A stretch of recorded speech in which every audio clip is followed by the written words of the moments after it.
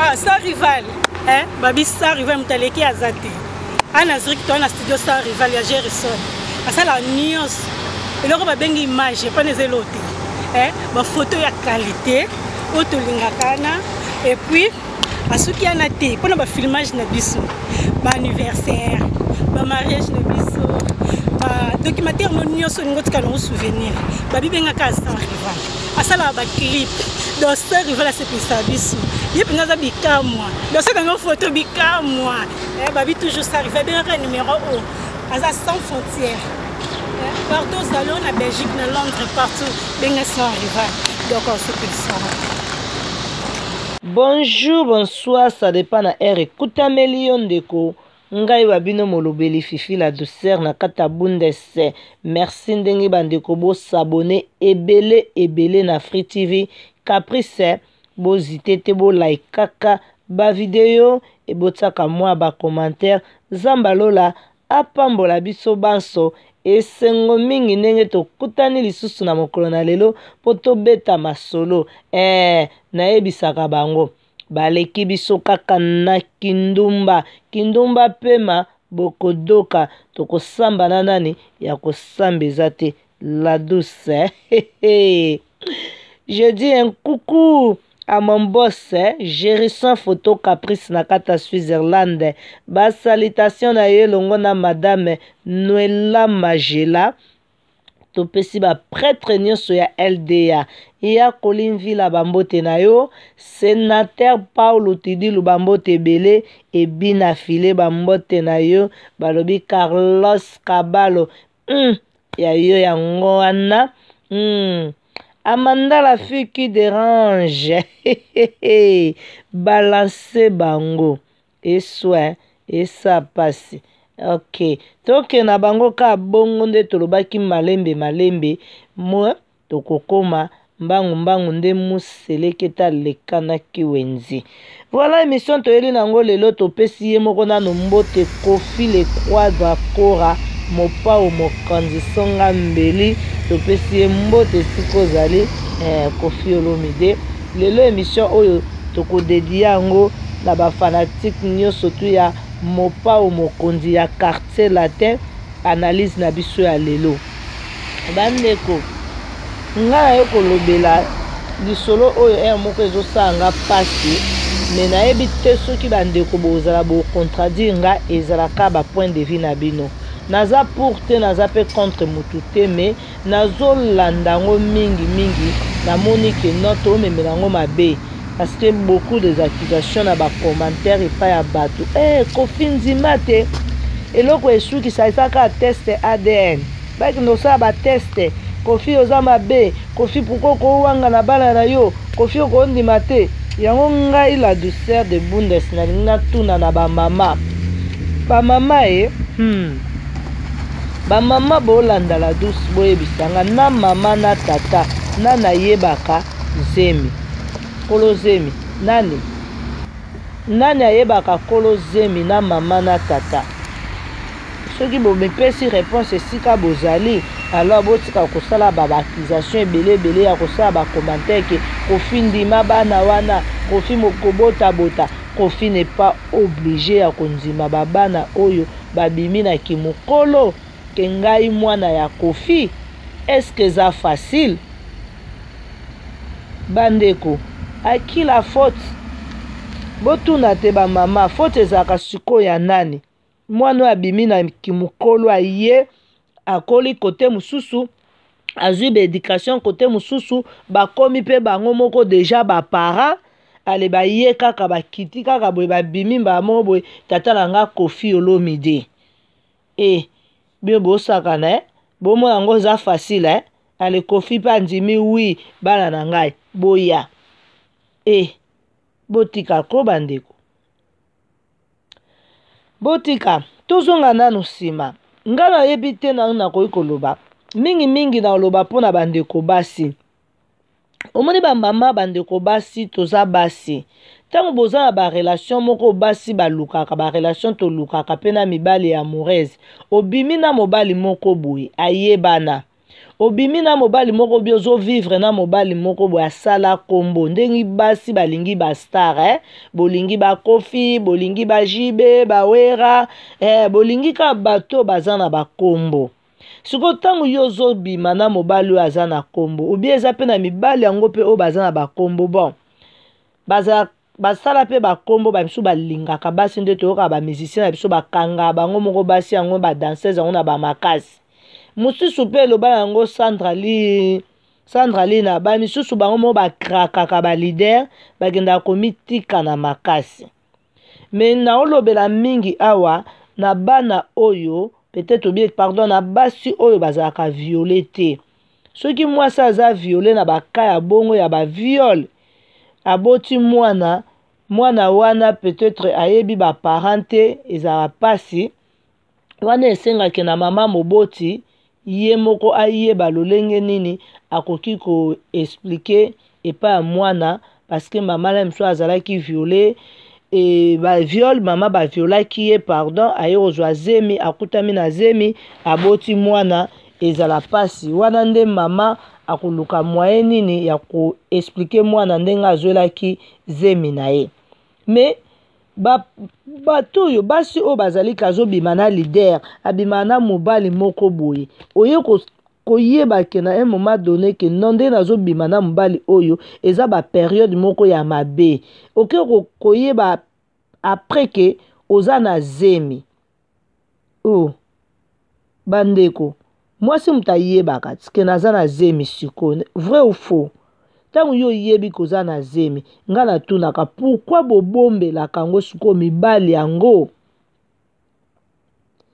mpo na nini bobombela ya mibali ke ngai ndenge naza boye naa na zemi na yo obombi okei na zemi oboti ti obandi kobokola mwana ye obokoli obokoli mwana apusani obombeli mwana na yo tata na ye e bamama tozonga nayo bato ko obombeli mwana na yo tata na ye vraimen obombeli ke zemi oyo obie nayebi te peut-être surtout mingi na koloba mpe basi oyo babimaka na mibali misato mine nde okoya kobosana me soki oyebi ke na mwana oyo tata na ye yeyo nabimaki na mobali oyo na moma boye na baperiode boye lelo nakomi na zemi zemi na nga ndenge naza boye 100 tata yeyo ozotatone te oyebisa mobali wana azala moto ya pusu azala moto ya ngongo azala soki crochard azala soki nani kende koyebisa ye ke ndenge naza boye nakomi na zemi zemi eza ya yo soki mobali wana aboyi ba responsabilité monisa na miso ya bato yebisa mwana ke ndenge oza boye tata na yo intel me awangana na yo yo aboya na yo yo mwana akoyeba ke ah, papa na nga ye wana me papa na nga yango awangana na ezemi ya mama na nga aboyaka na ye e mama yo moko sikoyo okoyeba ndokola papa aboyi na ye ba responsabilite me mwana azoyeba ke papa na ngai azalaka ye ti kino akobanda kokola azoyeba ke papa na nga yeyo avec le temps nde nde bomemela bamakambo na bino peut-être mpo na ko kotrouve papa lokola awanganaki ale omemi yango na bateste adn mpo papa azwa baresponsabilité na ye me baka oyo ezali ke papa na mama ozobima na moto obombeli mwana na yo obombi obokoli mwana ti mwana akoli mwana mpe abali siko bana yango bakomi kobima na kimokolo boye nga na ye naza mwana akofi me mama ntango obotaki mwana wana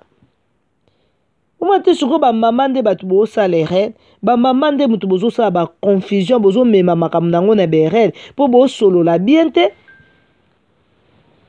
bamama bosolola bien te bamama ifo bosololaka bien soki bosololi bien oyebisi mwana na nga omoni nga ntango nazalaki kokola eh, ngai motu nalukaki mobali wana nabima na mobali ubie nga ntango nakoli ezalaka viol baviola nga ubie nabimaka na cousin nabimaka na cousine zemi oyo ezalaka ya cousine me bamama sikoyo ntango bozo kobima na ndenge mabe ale mpe bozwi bangambo wana bobombeli bana lelo bana bakomi kokola bana bakomi koluka batata boyebi teke ezosala mpasi esala bana mpasi mwana avandi avandi avandi ntina kimokolo boye abima kala sikoyo boza sire vraimen ke non bagrand leader wana bamusicien obie batata yango akondimaka na facilité bongo ke wi mwana na ngai mama ata kutu abimaka na yo aza conscient ayebi ke nazalaki kovivre na fille oyo ezala facile te mpo andima mwana wana mbala moko parce que mobali wana neti bakofi olomide asala deja famille na ye aa na mwasi na ye mama aliya ke je sali a passant napesi yo bambote epai ozali akoluka kaka azwa bana wana libanda aya kokotisa bango mbala moko na ndako na ye ekoma mbala moko famille na ye asangisa na bana oyo azobokola na ye badidistone na ye na badelpiro na ye na kati ya ndako education ya bana wana eza ndeni puisque deja bana oyo deja bazalaka deja sa awuti abokwami libanda aza deja libanda akoli bongo ezalaka facile te mpo osangisa bango na baoyo oza yango na ndako eh? ata aza mwana yo esalamaka ezalela bongo ata koreconnaitre ke we aza mwana nga me mpo olongola ye libanda oya na ye na ndako asangana na bana oyo oza na ye na ndako oyo obanda kobota na mwasi wana ezalaka facile te ee eh. Chouchou na la sulamete talela nga likambo na yebi te eh. Po ba mama nde bato bozo sala mabe. Ngai selon nga na mona ngo ba mama bo loba verite te. Ba mama peut-etre po bozo tambola malamu te yango bo bombela bana na bino ba tata. Tango bombeli mwana na yo tata lelo na kimukolo suka suka mwana koluka ya koyeba tata pe siko nalingi naloba na bana yango bana vraiment ngai nazokola mama obombeli nga tata titititititititititi nakoli mpe nabali oya sikoyo koluka tata na kimokolo boye mpo tata yango asani bible elobi eh? dieu est le père des orphelins bana oyo bozobimaka na kimokolo na yo koluka nazoluka tata na ngai isifi kaka accepte ngai isifi kaka ndima ngai nazoluka nazwa na ngai mbongo na ye te nazoluka nayeba na ngai ye te me oyo koseme trouble na famille na couple wana oza makila na ye wi baoboya te oza makila ya tata yango wana me mama ntango abombaki yo ifo oyebaki mama nde moto asalaki mabe pourkui mama obombaki olakisaki ngai tata na ngai te sikoyo ntango si nakoli boye nabandi koya koluka tata akozwa ngai en charge te mpo esi nabokwami na education ya tata mosusu soki mama abalaka peut-être oke ko oza deya na education ya tata mosusu me ozomona te kozosala mpo ner te ya tata oyo abokoli yo oyo abokoli yo mpe aza kaka tata ye kutu abokoli yo aza plus difficile ke motu abotaki yo moto oyo abokolaka nde moto azalaka na ngambo consideration pesa yango epai ya tata oyo abokoli yo tika koluka kaka ke tata oyo nde ye nde moto abotanga wi abota yo me abokoli yo te kobokola eza mpasi e kobota eza oboti mokolo moko te me kobokola mwana eza mpasi yango bana ntango bozobima bozoka nalingi kaka reconnaitre nga quelque part bozokoneglige baparent oyo babokoli bino oyo mibali oyo bamama na bino babalaki obe oyo babotaki nsima bazwaki bino en charge nzambe aza nzambe eh? aza père des orphelins tika nana na maboko ya nzambe senga nzambe lokola papa aboya koreconnaitre nga nakola na mbongo na ye te eske nazovivre te ozovivre oza bien pourkoi olingi kaka koinsiste kaka ke non aifo alinga ayeba nga akenda kende kosala ba adn ah botika eza kwanga na likayabu te eh. moto kaka boye wina ata ah, oki osala ye adn ebimi koza mwana na ye okosala nini okosala nini akoposo mbongo ne te akokabla babie na yo mpe akokabla babie na ye na yo te mpo na koyoka soni te ngai namivandisi na omivandisi kaka omitiki kolukela baproblème otiki komitungisama ke non e papa na ngai e papa na ngai e papa na ngai asala bateste mokili mombamba mama ebele bosali bacommentaire kofi aza mabe kofi abwaka bwakaka bana Ba mama soki omoni ozui zemi soki ya JB soki ya Koffi tango oza en vie oza na bo moyi insiste ya ko bimisa mwana wana mokili eyeba betaka ata lisolo na bato bomoni mwana oyo eh, eh na bota ye eh, na musicien tel na bota ye na artiste moko boye entel mokili emonaka eyebaka ke non oyo mwana kinganzi ata sikoyo yo obimi e eh, bilongi ekokana me oui c'est vrai bilongi ekokokana nango basuzi bazalaka vraiment botali motu bolobi oui o oh, vraiment ye elingi koloba te kaza mwana ye bamama nde bato boza na baproblème mpo mama kaka moto ayeba azemi papa te papa bato avandi na ye mama okei sikoyo bamama ntango ma bokokaka te ntango mosusu botatonaki deux o trois fois ozoyeba te ke zemi sikoyo eza ya nani oboti na musicien oboti na moto ya théâtre oboti soki na nani oboti na moto ya politiki okobomba mpo na nini naboti ngo ntango bozobomba moi je félicite ania star ania star abota na ye abimisa mwana alakisa abomba te abanga mpe kimbanda te na mama chala mwana amibimisa felicitation na bato lokola ania mpo na nini nakobomba na bando bokola mwana nganga moko na banga oui bokoki na bino mpe kobanga ntango mosusu mpo bato yango bamenasaka bino ke na omenase yo na kosala yo mabe me epai ya mwana na yo yebisa mwana na yo yebisa bandeko na yo na préféré osala nga mabe ke nabombela mwana nga secret monene boye ke na ti mwana boyebi mwana azokola ti azoyeba tata na ye te e eh, bandeko e eh, eh, bandeko ya basi bamama yo moko ndoko ovandi kaka tala kaka ke oboti mwana mwana azokola mwana azoyeba tata na ye te e bino bosaka na likambo ya kitata ale abimi na kimokolo na 30 ans na 40 ans tata na ngai yeyo affection ezala te affection ezala te ata oforce ndenge nini ezala te eza mpasi ezala te eya sikoyo koluka ni oye kaka koluka mbongo azwi mbongo apesi yo areconnaitre yo mpo kozwa lisusu affection te oyo ezalaka très important okozwa éducation lisusu te oyo ezwaka très important epai ya tata na yo kozwa yango lisusu to rate deja biloko mibale wana ya base affection eza te education eza mpe te sikoyo okoluka ye azala kaka tata na yo mpo na nini na bapapie kaka eza na sansi te lokola so owangana obi oboya oke na ovanda na kwana ngai nazokola nazolya na ngolu ya nzambe na olie na mbongo na yo te nakomi mpe molai lelo na mbongo na ye te tata oyo abokoli yo mpe aza tata bandeko bolanda biso na free tv capris fifi la douceur de bundes baleki biso kaka na kindumba nayebisaki bango kindumba pema bakodoka mbangu mbangu moseleketa lekanaki wenze he bino bongo toke na bino malembe malembe merci na bina file merci na yo carlos kabalo le meilleur journaliste ya ld hein? hmm. merci na miraesa depuis luanda apesi yo bambote ebele eh, geti kabumba skin hey vrai chéri na kata genève eh, di josé lusala mwana poto ya tongo hmm. bandeko ya basi esalaka mpasi esalaka vraimen mpasi ngai nalobi ya omona bandeko ya basi ndenge bozobimisa bana yango nalobaka mbala moko na emission moko nalobi bandeko oyo nyonso boyebaka ke bolingi bato ya bakombo banini mibali oyo nyonso bastar oyo nyonso baza nano vivant soki oyebi obotana songolo mpakala sele moma ya komilakisaka kobimisa mwana wana mpo ayebana bato batiaka kake mwana na ye abotani na intel bobombela bana bozwa bazemi mosusu bokosela yango batata misusu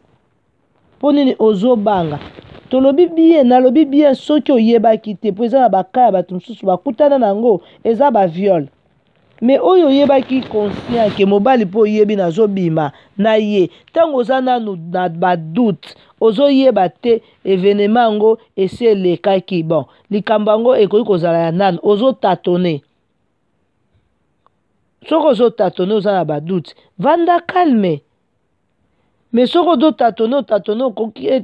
lokola aza ya badutu tika nabomba yango esala bana mpasi ntango mwana kokola aya koyebaka ke non tata na ngai yeyo naki mokolo shoke eh? ezala shoke Alors bandeko bosala ba commentaire mpo na Koffi Olomide, desole mpo na ngai, aza oblige te ya kondima, il faut azwa temps na ye parce que eza likambo ya temps. Eza likambo ya temps azala convaincu, conscience na ye esala, ye moko ayebi malembe ndenge aomema procédure yango. Okende kosalisa eza facile. Olamuki kaka na tongo baye bayebisi yo ke oyo mwana oyo abimi mwana na yo. Ale yo mpe olobi oui bravo oyaka na ndako. Ata nayebi ke nazalaka na mwasi yango. Ezwa temps. Ezwa temps yango nabi ba mama nde bato boyebaka. Tango oyebi ke zemi oyo naza na yango eza ya tata oyo loba mbala moko. Kobomba te. Ceux bozo bomba bo bebisa ba vie ya bana bino nde bato bozo bimisa ba bana ba kuluna après boloba ya mibali ba obotisa biso bazo wangana soki awangani yebisa mwana naza sur ke wana azalaka tata na yo me awangani yo bana nde bazokola soki boedike bango bien na nzela na liloba ya nzambe bana bango moko bakoya kosala sikoyo badifference ah c'est mon père pourkui awanganaka nga mama explike awanganaki boye boye boye boye boye bana bango moko bakoyeba ntango bazokola koyeba akomi kocomprendre akoyeba sikoyo kosala distinction ke na papa na ngai aza mabe parce que mwana ntango bawangani ye pa papa azokola azwi affection wana te akola na mwa haine moko ya motema mpasi moko donk eloko ekesunga ye ekezalaka siko liloba na nzambe mpo akoka kobungisa likanisi wana ke non papa aboya yo papa awangana yo me nzambe azali père des orphelins aza na biso ye moto azobomba biso ye moto akomisi biso ntina lelo nde tokomi boye soki oexplike mwana na nzela na liloba na nzambe mwana okima te mwana akokomprendre akoluka mpe te koya oluka tata na kimokolo non apeso nini ntango bapesaka mwana affection papa kuta azalaki te conseil nini oya kopesa lisusu na ngongo oyo so lokoti lokoti conseil ya balabala ozwi ya bafamille ozwi ya wapi ale tata yango oya siko na 40 abandi kopesa yo conseil ozala na difficulté mpe akondima yango to mashe bamo te azalaka wapi ntango nabotamaka bokolanga kutu te lelo alinga ya koencadre ngai na vie alinga asalela ngai boye nani balangage wana elobama toyoka yango merci na bandeko nyonso bolinga nga ezali mwa moke tobeta lisolo ya kofi olomide vraiment bandeko bozo exagere babimi ata 10 bana yango bokomi soki combien kobima na kobima kobima na kobima e eh, te yango te bamama botala bavi na bino nde bozotambola merci na bino nyonso bolingaka ngai na kati allemagne fifi la douceur de bundes napesi bino bambote partout bozali bolanda afri tv caprice bosabone massivement vraiment bolike bavideo e grand merci aussi na bos na ngai gerison photo caprice merci na yo ebele vraiment e merci na bandeko oyo nyonso botikali bopartage bopartage s'il vous plaît Ebo eme makasi eh, ezalaka bongo ti eh, tozokende ka male malembe. Merci na bandeko nyonso tu, tokutani bongo mbala nsima na emission mosusu. Bye bye.